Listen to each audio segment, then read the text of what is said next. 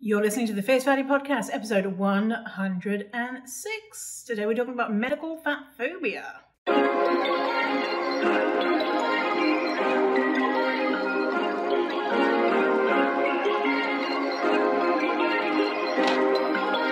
Perfect. I'm Victoria Welsby, TEDx speaker, best-selling author, and fat activist. I have transformed my life from hating my body with desperately low self-esteem to being a courageous and confident, fierce fatty who loves every inch of this jelly. Society teaches us living in a fat body is bad, but what if we spent less time, money, and energy on the pursuit of thinness and instead focused on the things that actually matter, like if pineapple on pizza should be outlawed, or if the mullet was the greatest haircut of the 20th century. So, how do you stop negative beliefs about your fat body controlling your life? It's the Fierce Fatty Podcast. Let's begin.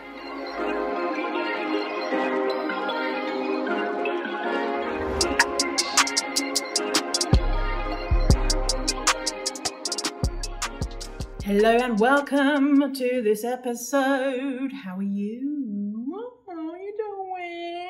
Massive, massive trigger warning on this episode. I'm going to be listing um, medical fat phobia stuff, and it's really fucking heavy. Really heavy. So uh, if you're not up for that, then uh, skip to the next episode. But wait, wait, wait, wait. You don't have to yet. I'm going to tell you how my date went. I'm going to tell you how my date went, okay?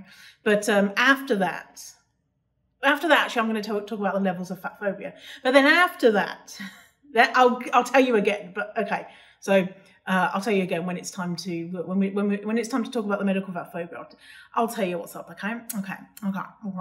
So last week I was about to go on a date, right? My first date in Vancouver since I've been back, and my first date in two years since the COVID started. So I spoke to so I had a, a, phone date, right? Zoom Zoom didn't work, and so we just spoke over the phone. My internet wasn't working. We ended up speaking for a couple of hours, and then uh, that was Wednesday. And then on Friday we were we were talking again, and um, in between then, in between then, we decided we were going to go in an in person date um, on the Saturday. Saturdays. On Friday he called me again and we had an hour conversation. And then Saturday, uh, we went to a restaurant and had dinner. And so now it is Wednesday again. So happened this weekend. And um, yeah, it wasn't great. uh, so the first two hour conversation was was good, right? It was good. It was he was like I don't know, chill and um, looking back, I can see a couple of red flags that I took as him being playful. So, for example, he said he likes to go hiking, and I I like going um, I like going hiking, and when I say hiking, I mean walking through you know, the forest or going to a mountain and walking through a relatively flat route, nothing too wild, nothing, no like kind of scrambling or, uh, you know, rock climbing shit like that. Like I wouldn't do that in theory, but I do like it, you know, I just enjoy, I just enjoy being out in nature. you know what I mean? I mean? But there's one thing in Vancouver that I would never do because it just sounds fucking horrible. It's something called the grouse grind. Just by that name, grind, you know that it's awful. Uh, some people might, some people love it, right? It's a mountain in Vancouver, and people, and it's like a stairmaster for uh, three hours to the top. Stairs, stairs, stairs, and a lot of people love it. And to me, that just doesn't sound fun. Yeah, you're in nature, but you know, I like a bit, a little bit up, a little bit down, a little bit straight, a lot more straight. You know, that type of thing. Versus, this is the type of thing that people will do on a on a Sunday and try and beat their best time and all that type of stuff which is fine, whatever, if people are doing it. But anyway, he was like, oh, I, I just bought a season's pass to do that because I think you get like the gondola down. And he was like, oh, yeah, you can do that with me. And I was like, ah, no, don't think so. Not my cup of tea. And he kept going on about it, kind of like, come on, come on, sort of thing. And I thought he was being playful. No, maybe he was, but maybe not. But anyway. And then also he, on uh, the second conversation, I said, oh, I need to go because it's Dougal's bedtime. And he is Dougal wants to go out. Dougal is very, very on schedule. Like he's like he will start giving me, um, he'll start giving me shit if I'm not following his schedule. His schedule. So he decides he likes going out for a, a his nighttime walk at like eight thirty. Um, you know, if the if it's the weekend, I might be able to convince him to go in a little bit later. And so I had convinced Dougal, and it was like 9.30, 10 o'clock. And so Dougal was like, for fuck's sake, what he does is he, he just stares and then pitter patters his feet. And then if he gets really frustrated, he'll go, he'll do a tiny little cry. And then if he's like actually like, I don't know, got a turtle head or something, he'll do a, a little bark. But he's, uh, you know, the, levels of, and he, so Dougal was at the, uh, the staring, the pitter pat, he might have done a little, anyway, so I said to this, uh, I said to the guy, I said, listen, I need to go, uh, Dougal need to go out. And he was like, oh, what, are you going to, um, is your dog more important than me? And I took that as him joking. Now I'm like, mm-hmm, that was a bit controlling.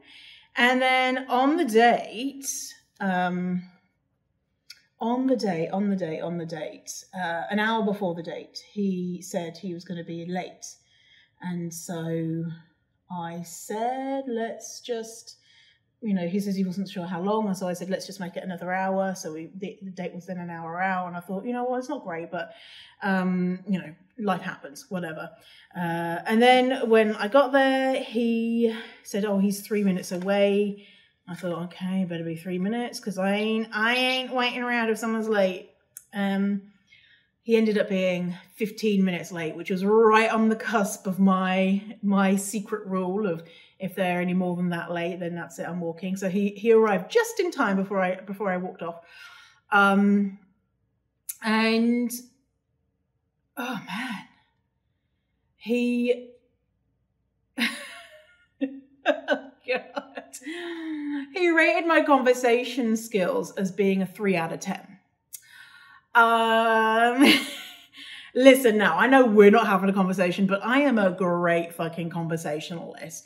Like, I am really curious. And so if someone's not that much of a talker, that's okay because I can hold the conversation. But I love ask, asking people questions about themselves and I'm genuinely, genuinely curious and I'm, and I'm playful and, you know, I'm, I'm and I'm, um, uh, empathetic and all that type of stuff. So, I mean, I don't want to toot my own horn, but my conversation skills are not a three out of 10. But anyway, he just, just decided to rate, rate my conversation skills. Um, he not once referred to me as they. Um, he was talking about me in like, he was saying, "Oh, I'm going to be late, and she's going to be mad." And because I said, I asked him why he was late, and and I'm going to ruin the day, and she's going to hate me, and uh, you know. He, so he said, he said she he referred to me she probably 10 times. Um, and I kept correcting him. And then we, we were talking about non binary stuff. And, and I was like, Do you think that you might be able to say, call me they before the end of the night? And he was basically like, No, don't count on it. He didn't go, but you know, he was like, Nah, it's too difficult. And he was talking about how he has a non binary friend and he has is refusing to talk to that non binary friend because he for whatever reason. And so he was like, I, you know, I want to come on this date so I, I could face, face up to non-binary-ness. Um, and he was, so my dad, my dad, um, died a few years ago, but my dad, uh, the big theme of what was difficult about my dad is that he would go on monologues.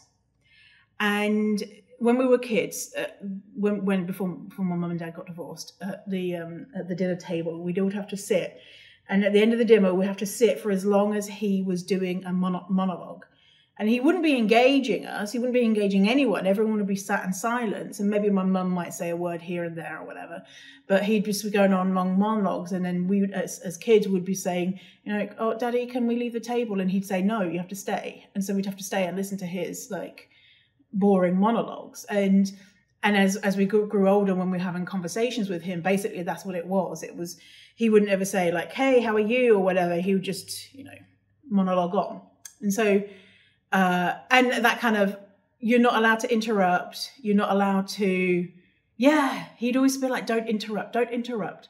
Uh and so this is a kind of triggering thing for me.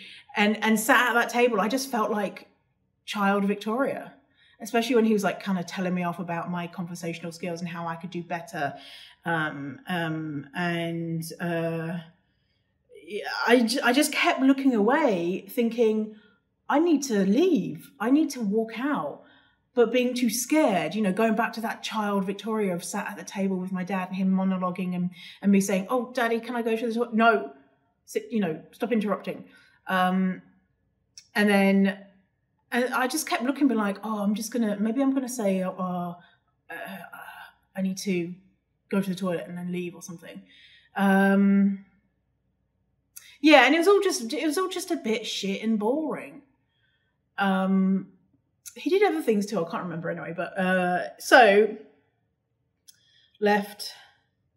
Next day, he sends me a text. Um, that night, he sends me a text saying, you know, thanks for coming out. And I said, you know, thank you, thank you for the dinner. And then the next day, he sent me a text, and I didn't respond. I was planning to respond on Monday saying, hey, we're not a good fit.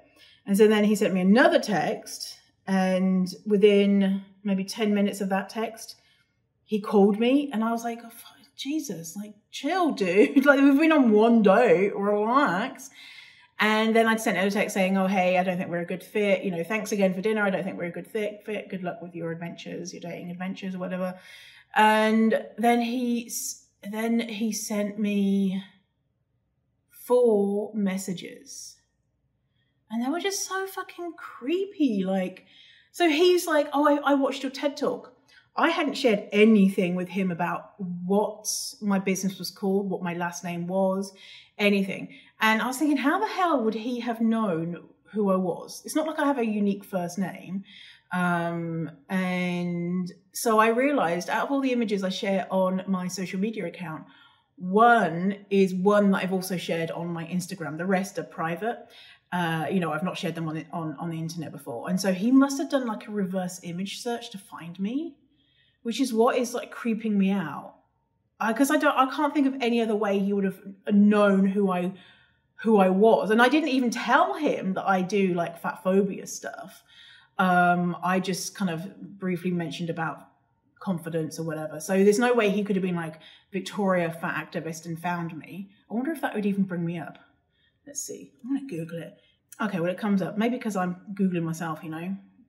Probably it knows who I am, right? I, got, I gave my own book a thumbs up. uh, so maybe, maybe he found it that way, but either way, uh, he's like, oh, um, uh, oh, I watched your TED talk and I'm going to be listening to your podcast from now on.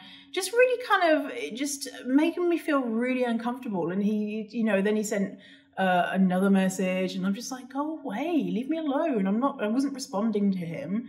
And I'd even blocked his number. I blocked his number. And the only reason I know that he was sending me these messages is because I blocked his number on my iPhone. And then when at night time I'd go to my iPad to, re- to read my book, read my book on my iPad. Uh, a book, not my book. Um, and for some reason his blocked messages would come up on my iPad. Oh my god.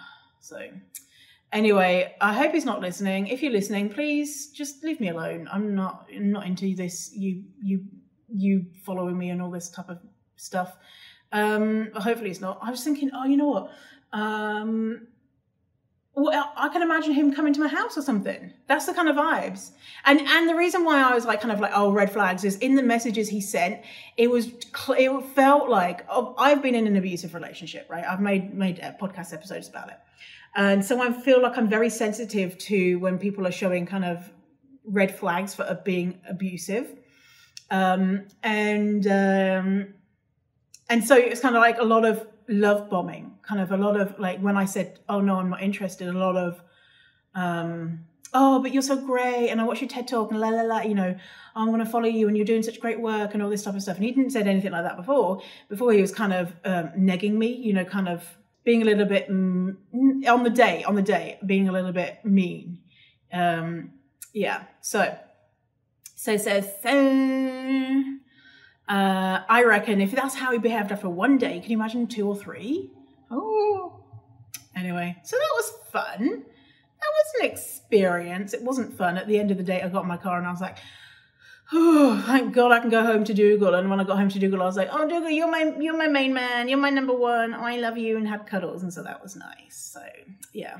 Uh, but hey, listen, don't let this put you off dating, okay? Uh, I, I, and it's so sad. Like my two two of my friends, I text them both, and I was like, "Oh, hey, the date wasn't great, but I'm still alive."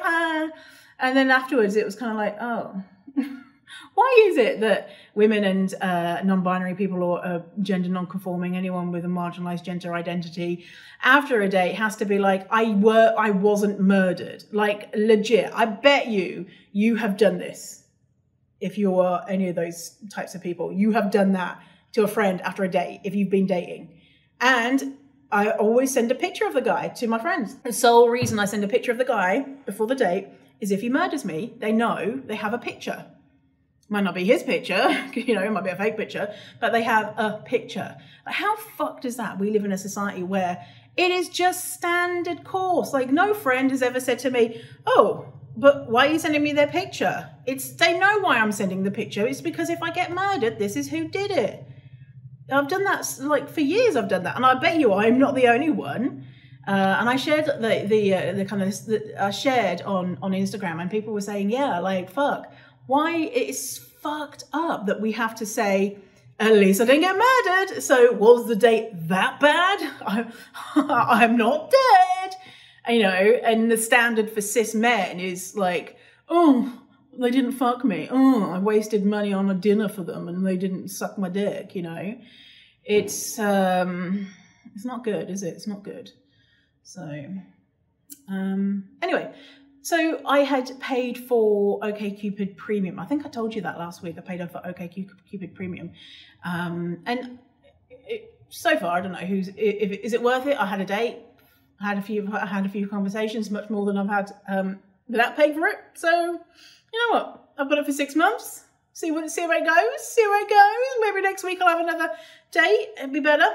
And that's the thing. Doing like uh, doing the phone screening I asked one guy if he wanted to chat on the phone. He was like, "No, I'd rather see you in person." And I'm thinking, "Yeah, no shit, Sherlock. Seeing people in person is better, but um, sometimes you have to think about the safety of." Um, if you're a cis man, the safety of your partners. If you're a cis het man, you have to think about their how comfortable they are. And um, if someone says, "Hey, do you want to chat on the phone first to make sure that your picture matches your face, that you are not a complete raging asshole, then I think you're gonna have to do it you know? Instead of being like, I prefer in person. Well, yeah. Obviously, you know, especially if you're out there being like, oh, you know, I want to be dipping my balls in someone's mouth. You can't be doing that on Zoom. Of course, you prefer in person, but you know, you have to build up that trust.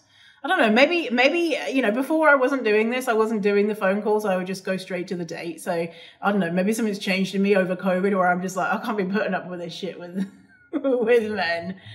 Uh, I don't want to waste. I don't want to waste my time putting on clothes to go out to go on a date, and the guy turns out to be a bozo, right? And but here's the thing: this example of me going having two. So I had spoke to this guy for three hours before the date, and it wasn't until the date that he showed who he was, right? So, you know, which again kind of makes me think, you know, abusery type things because I feel like sometimes people who are abusive are, are kind and nice to start with, and then they they have to let let, let things slip because I can't keep up with it because it's tiring. It's tiring having to be nice when that's not really your your mo.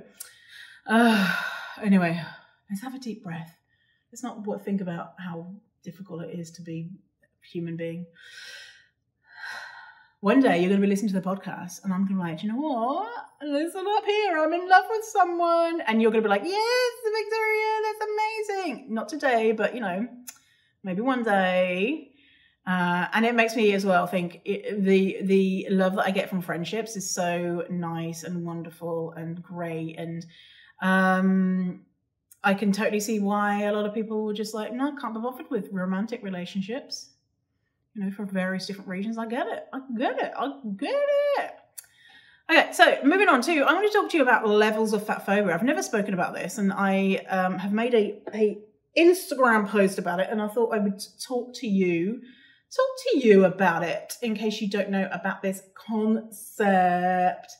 Um, I was reading a blog post that Do- Tovar had done four years ago now for Ravishly. Ravishly? Ravishly. Ravishly. Ravishly? Is it? Hang on. Levels of fat phobia. I think it is. Yeah, ravishly. It's kind of a funny, it's kind of a funny thing. Um, and so this would I uh Virgie didn't mention it in in um in this post for for ravish ravishly.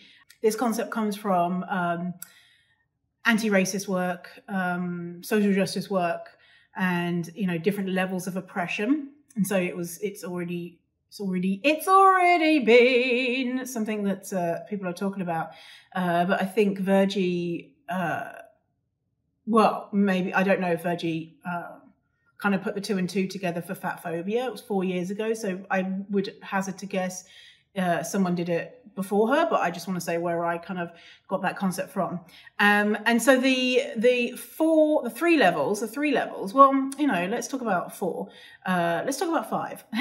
let's fuck it. Let's make that up. Let's go.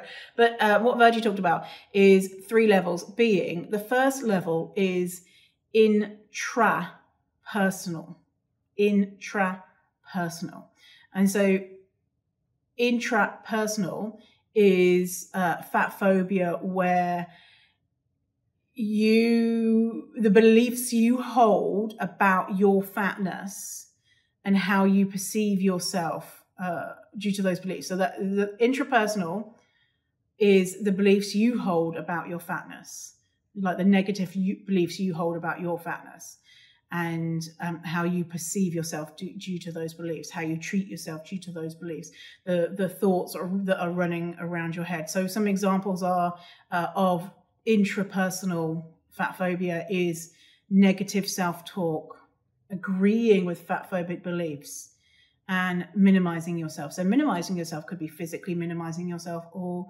um, with your actions and with your with your words, minimizing yourself because you believe that you're a bad fat person. So, as well, I have added in here internalized because this could, you know, intrapersonal fat phobia is internalized fat phobia. It's internalizing those fat phobia beliefs uh, that society have about your fat body. Now, I've seen I've seen people referring to internalized fat phobia as something that straight size people can experience, and and I have kind of two different thoughts on this of no, you can't internalize oppression if that oppression isn't about you. And so you're not experiencing internalized fat phobia, you're just fat phobic, you know? The internalize is when you're putting it on yourself. But here's the other thought that I have as well, which is the idea that even if you're not fat, you're internalizing those beliefs and you're holding a mirror up to yourself and seeing someone who is too big. A lot of thin people, you know, think that they're they're not thin, right? And a lot of you know straight sized people are like, oh, I'm I'm fat, I'm too big, but then really they're not fat. And so, is that internalized fat phobia? Um, just two different thoughts about it. I'm still kind of struggling with that idea of. Um, because you wouldn't think like with any other uh, social justice issues, you wouldn't think uh, I'm struggling with internalized ableism. If you haven't have an able body, you just say I'm ableist. You wouldn't say I'm struggling with internalized transphobia if you're a trans person. Would you? Maybe you would. Maybe I would. I don't know. So, okay, so that's intrapersonal, and I've added onto there, or internalized. Next, we've got interpersonal, E N T E, not E N T, I N T E R, personal. So the first one is E I. Letters are hard. I N T R A personal. The next is interpersonal. And so interpersonal is the beliefs other people have um, about you, your fatness. When I say you, I mean you as a fat person. If you're a straight sized person, then it's fat people. Uh, and how they treat you or fat people due to those beliefs. And so that's that's personal individual relationships. And so, what that could look like is being shamed by loved ones, being rejected as a romantic partner, or being told to lose weight. So this uh, this image that I've created, if you think about a small circle, that's the smallest. It's it's yellow. The next circle is uh, is just behind that. It's like a growing orb type of thing, and so the next circle is is is bigger, at orange circle, and then the bigger circle is institutional. Institutional fat phobia is the belief society holds about your fatness and how it treats you due to those beliefs. And so, some examples of institutional isn't that such a nice word? Institutional, institutional. Actually, maybe that's a British way of saying it. Let me think how, how a North American would say institutional. Institutional? Yeah, you'd say two. You wouldn't say stu, stu, stu, you'd say two if you're a North American. Institutional. Two. There's an STI there. An STIT, institute, institute. Now I can't even say it. Institutional, institution. Anyway, examples of institutional uh, fat phobia is medical fat phobia, job discrimination, access to resources, access, you know, uh, um, access, access, you know, things like structural um, going into a restaurant, being able to sit, going onto an airplane, being able to fly, uh, being able to access all the different things that straight size people access, like clothing, like medical care, all of that. So any type of access. Um, and a sense of community belonging. So a sense of that the community as a whole is is not happy that you're there. Doesn't support you as a human. Yeah. So something that Nic McDermid, I'm going to link to Nic's uh, Instagram page. Nic McDermid shared a couple of weeks ago, and I was like, ooh. And this is a new concept to me, but uh, apparently Nic has said that um, the four I's of oppression. Um, and so the fourth I is the idea um, so ideological. So ideological is, and so the way that I've done it on this post is you've got those three circles, one getting bigger, and then you have a, a kind of a bracket encompassing it all. And the bracket encompassing it all is ideological. Ideological. And so, ideological fat phobia is the belief that fat people are ethically or morally inferior and don't deserve dignity and respect, a social, cultural, and political belief. And so, an ideological, uh, ideological fat phobia could look like everyone knows it's a case of eating less, exercising more. If they can't do that, then they are lazy and unhealthy. Why do I have to pay for the choices of fat people? So Nic says, um, this concept uh, has been around for a while now in terms of the four I's of oppression. The idea is that the ideological beliefs make their way into institutions in society, which then shows up in our inst- interpersonal interactions with others, and thus we internalize fat phobia. So you can see how fat phobia isn't just, oh, I don't like my fat body. It isn't just, I can't find clothes it's it's it's woven into the fabric of our society at every single level. And it's like this group think in our society that fatness is bad. And so um, things are set up to punish fat people.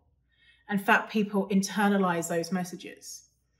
Um, yeah, so I wanted to, to share that because I wanted to kind of dig in deeper about fat phobia in public health. A lot of times when people think about uh, fat phobia in public health, they think about kind of they don't know about it, right? Because if you are a smaller bodied fat person, or if you haven't experienced certain types of medical conditions or illnesses or whatever, you haven't had that experience of coming up against something. And um, and so I wanted to make a list of all the different ways that we have fat phobia in in healthcare the one one the one main one that people talk about which is really important because it affects almost every fat person on the planet is um, being told to lose weight, right? So, um, but it's so much more than that.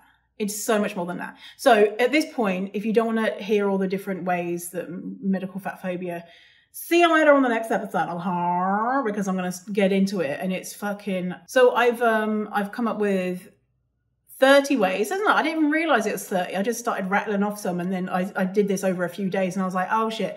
And the reason why oh, I was inspired to do this is because I watched an incredible presentation um, called Fat Phobia in Public Health and Dietetics. What Dietitians Need to Know by Mikey Mercedes and Monica Crete. So good. Go to Mikey Mercedes Instagram page and you might be able to find a link to it. I don't want to share the link directly because there is the option to donate. So I want you to be able to donate if you do want to watch that presentation. It's two point two hours, two hours, 10 minutes, 15 minutes of just fucking juiciness.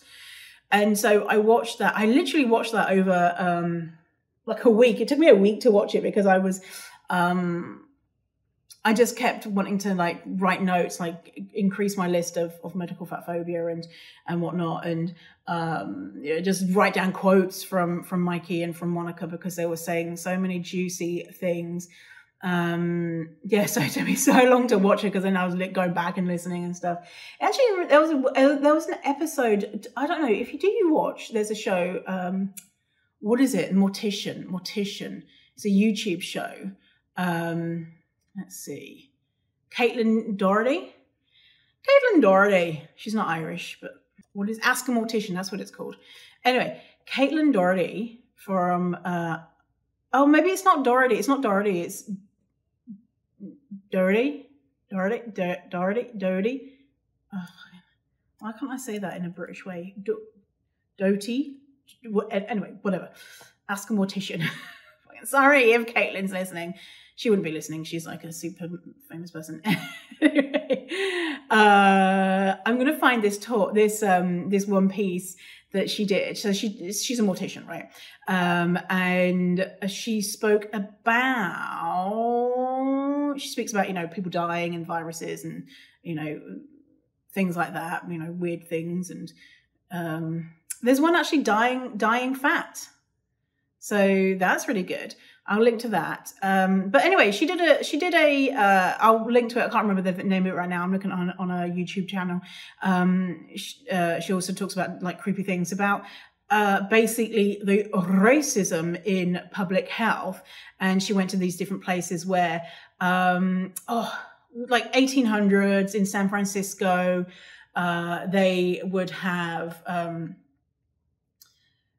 when when immigrants were coming in to San Francisco uh, and diseases started coming because of the terrible conditions that they uh, they you know the the the you know, Chinatown and and what that looked like and how many people were living in a house and how they didn't have sanitation and la la la, la and diseases um, started to spread.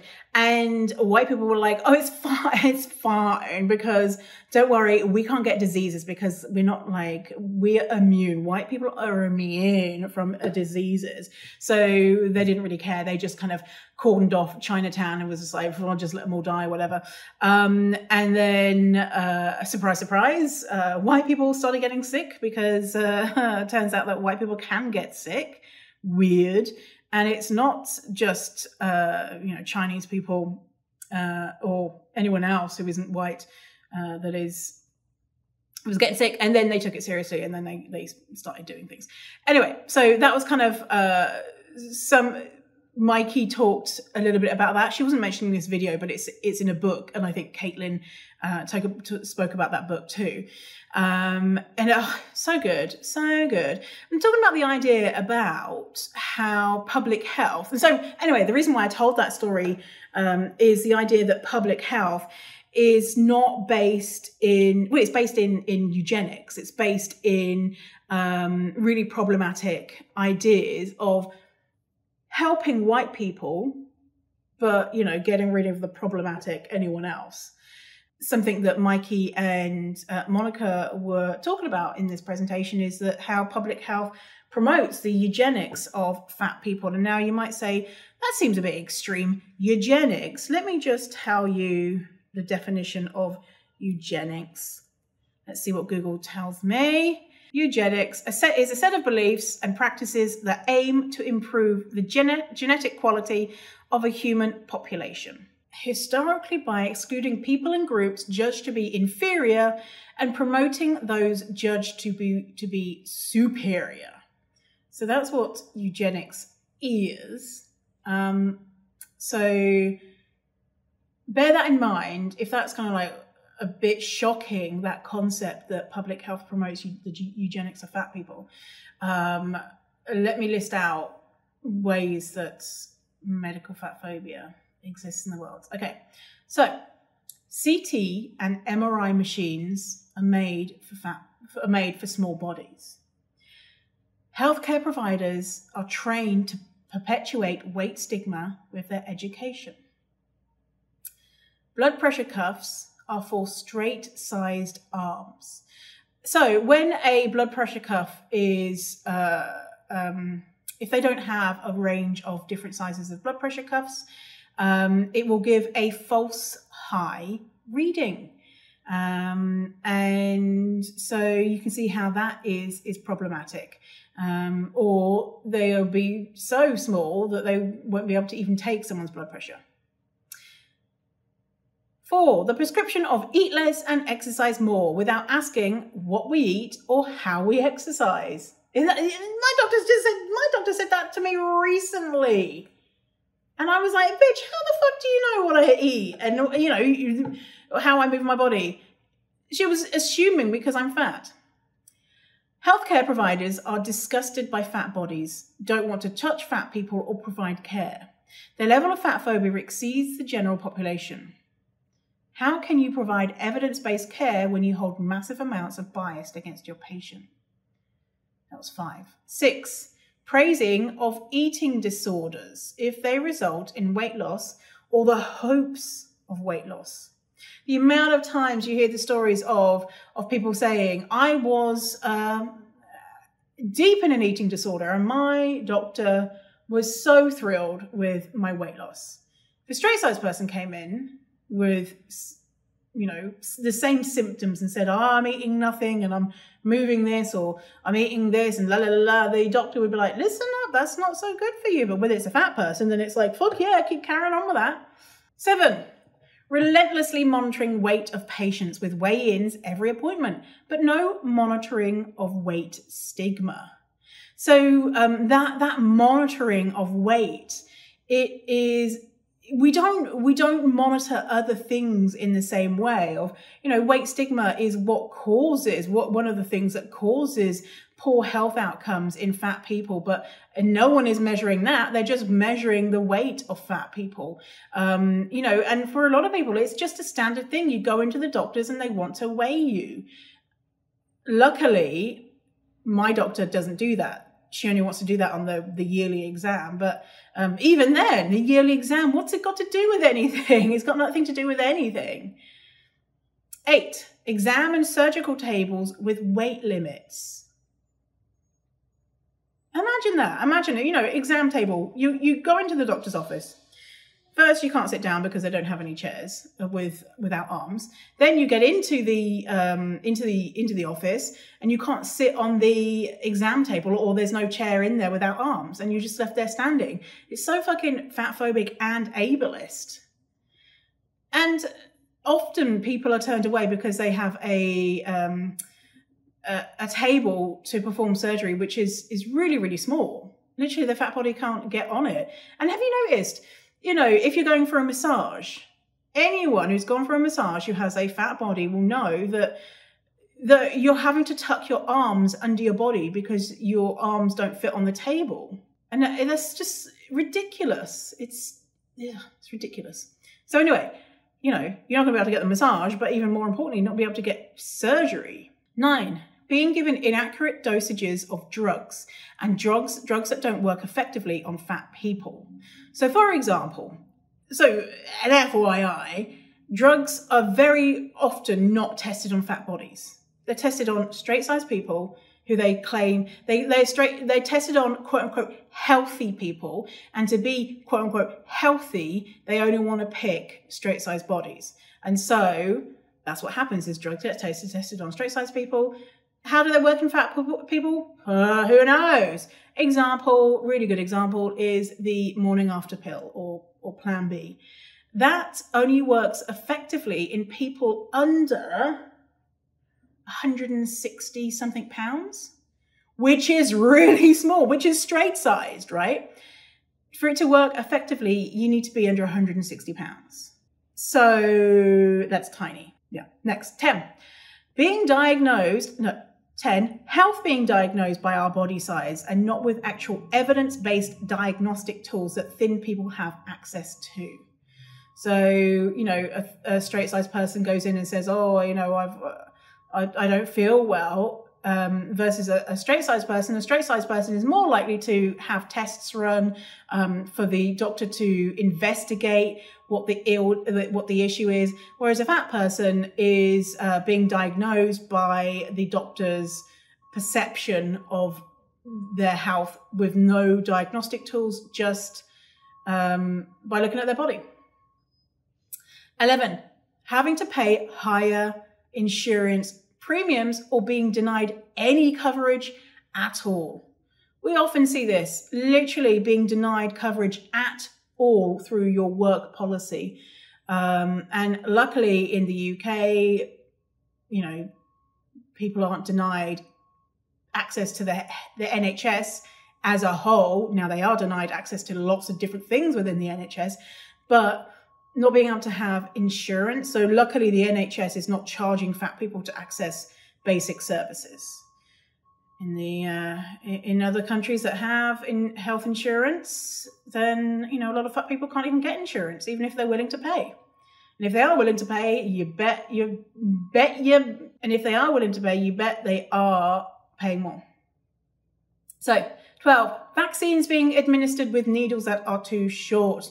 Uh, as I mentioned in an episode, a uh, couple of episodes ago about COVID vaccines, um, some vaccines need to go into the muscle, some need to go into the fat. Uh, example for COVID needs to go into the muscle. Um, someone who is over about around 200 pounds, which again is not fat really, um, needs to have a longer needle. Um, that is the uh, recommendations for most healthcare authorities around the world is that someone who is over 200 pounds, a, a cis woman, um, needs a longer needle. And um, how many are given a longer needle? Probably not a lot. 13. Fat people being denied assistance with IVF so they cannot become pregnant. The cut-offs for fat people getting IVF are so low. Imagine that. If you want to have a child, you want to become pregnant, and you are being told that you cannot because you are too fat. And the stats around it are just absolutely heartbreaking because you know, they say, oh, the risk of this doubles. Uh, what was it? Like, uh, go back to listen to the episode with Nicola Salmon, who uh, talks about fat fertility. The risk of um, diabetes, what do they call it um, if you get diabetes in pregnancy? Gestational diabetes doubles. It doubles from something like 0.4 to 0.8. And so they're like, oh, well, the risks are doubled. And it's like, um, yeah, but let's look at the information. Um, yeah, and and why is that? Why is it because they have more fat on their body, or is it because they're experiencing weight stigma, poor health care, and yo-yo dieting? Hmm. You know, fifteen. When a patient has a higher weight, uh, doctors report liking their jobs less and having less patience. Patience with a CE, patience as in I'm losing my patience, and desire to help the patient, as in human. So when a patient has higher weight, doctors reported liking their jobs less and having less patience. 16. Doctors see doctors seeing fat patients as inherently high risk and therefore don't want to perform surgery in case their insurance premiums go up in times of adverse outcomes pressure is put on doctors by their uh, their seniors to not take high risk surgeries or surgeries that they deem to be high risk. They see a fat person, they say high risk, not going to do it. And so literally fat people are turned away because the the, uh, the weight stigma uh, the the weight bias that the doctor holds, that their belief that they are inherently more risky, uh, because they don't want to have their insurance premiums increase. Their boss is telling them, "Don't do it because uh, we might have to pay more money." 17. Drug trials are being performed on straight sized people only. Luckily, a lot of drug trials with things like the COVID vaccine were, um, uh, were done with mostly fat people, actually. And that is because 70% of the fat po- of the population is fat. So, I mean, you can't get a, you know, most of it's done on fat people, basically the population, which is great. But drug trials are often done on straight sized people who they deem as healthy. 18. Waiting room chairs with arms so fat people cannot sit, which means making visits to the doctor uh, impossible for some fat and disabled patients. 19. Fat people are less likely to have cancer detected early and get effective treatment for it. Uh, so, chemo drugs are often dosed for smaller bodies and the same dose given to fat people. Fat, breast, and ovarian cancer patients have worse outcomes, but when given the correct dosage, their risk will be the same as straight sized people. So, oh, turns out if you give them the right medicine dose, they're actually okay. Like the risk is the same. But it's too hard to measure, measure a medicine dosage. Just give them the same thing that, that um, straight sized people get. 20. The experience of visiting a healthcare provider being so traumatizing that fat people suffer in silence and are delayed or denied important healthcare. I mean, every fat person listening to this, I'd say, you know, pretty much every fat person says, would say that they have um, fear going to a doctor. They've had a bad experience. It'd be a very, very lucky fat person who has not had a bad experience going to the doctor and being told, oh, look at you, fatty, lose weight. I mean, hmm. 21, gowns and wheelchairs don't fit. I mean, how often have you gone to get, you know, some type of an exam and they give you in a gown and it's like, uh, this covers half my body. Um, you know, basic things don't fit. 22, being forced to crash diet to lose weight temporarily to get treatment. So some people they don't have a choice. They need to get the treatment that they're being denied, and so they are forced. They don't have the they don't have the free will. They are forced to temporarily lose weight, to go on a diet which is bad for their physical and mental well-being, to temporarily lose that weight, get the treatment, and then the weight comes back on because that's what happens. I mean, it's absolutely ridiculous. 23 you're less likely to receive an organ transplant as you're seen as high risk and left to die. There are not enough organs in the world. The doctors choose who is the best candidate. If you're fat, they you're uh, instantly labeled higher risk. 24. 50% of primary care physicians viewed fat patients as awkward, unattractive, and non compliant. One third said that they were weak willed, weak willed, sloppy, and lazy. 25. Doctors reluctant to do pap smears if the patient is fat. Um, so, pap smear, we call it in England smear. Um, but uh, doctors are reluctant to do it, um, studies show, if the patient is fat. 26 being denied surgery due to weight at very low cutoff points, including life saving surgery like gender confirmation surgery. I mean, can you imagine? 27. Yet, stomach amputation or squeezing surgery surgically is magically safe. And then, 28 being coerced and forced to have your stomach surgically, surgically amputated or restricted in order to get treatment for an unrelated condition. 29. Only to be blamed when the surgery doesn't result in long term weight gain. Uh, there was an episode that I did on um, weight loss surgery, in quotation marks, because it doesn't uh, often result in weight loss, um, showing that it's very similar to to diets. Is that there isn't a lot of uh, long term follow up with with patients. They lose weight, and at about the eighteen month mark, which is also the same for diets, about the eighteen month mark is when they start putting the weight back on. Um, and yeah, surprise, surprise, there's no follow up with people uh, long term to see if they are fat or not. Um, and finally, 30, missed diagnosis or late diagnosis resulting in death. So, are you more on board with me saying that the way that public health is structured is modern day eugenics? And as a society, we're aiming to eradicate fat people and stop us from reproducing. We're aiming to to kill fat people.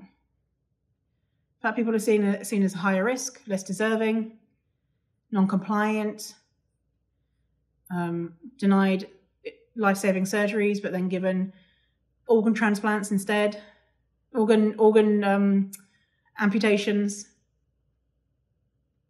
I mean, yeah. So if you weren't aware of kind of, uh, I mean, these are just 30 things off the top of my head, right? Um, the list is is endless.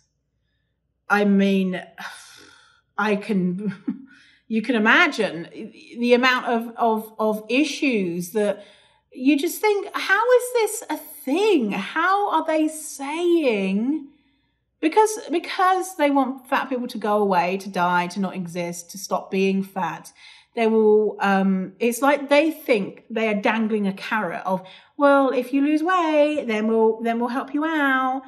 And one that's fucked because people should be able to access healthcare exactly at whatever weight they are. And two there is not one single study ever to show any method any diet is going to result in weight loss for any more than a tiny percentage of people. And so they're dangling a carrot, and that carrot is just fucking a piece of a piece of shit, um, unethical, not science based, not evidence based. I mean, it's just horrific. So if you are a straight size person, person and wondering, you know, like, why don't people just go to the fat people, go to the doctor and la la la, you know, yeah, they get told to lose weight, and yeah, why don't they just lose weight? And we well, know it, it's it's everywhere. It's everywhere you turn. It's it's it's just an an environment of uh, knowing that people who see you, you know, health as a healthcare provider, are judging you and assuming that you are non-compliant, lazy, disgusting, um, unintelligent, won't do anything to help yourself. And I mean, that is not fun. And it kills people, kills fat people, kills fat people all the damn time. So, anyway, um, that's the episode. Uh, I'm not going to say I hope you enjoyed it because I mean, it's fucking just fucking depressing, isn't it? Oh God. Um, maybe you enjoyed the story about my bad date. maybe you enjoyed that. Uh, but thank you for hanging out with me today. I really appreciate it. And um, I will see you in the next episode of the Fierce Fatty Podcast. All right, see you later. Bye. Fierce Fatty Academy, which is my signature program where I teach all about how to overcome your fat phobic beliefs and learn to love your fat body. Then go to fiercefatty.com forward slash waitlist. Again, that is fiercefatty.com forward slash waitlist to get your name on the waitlist for when Fierce Fatty Academy, my signature program, opens.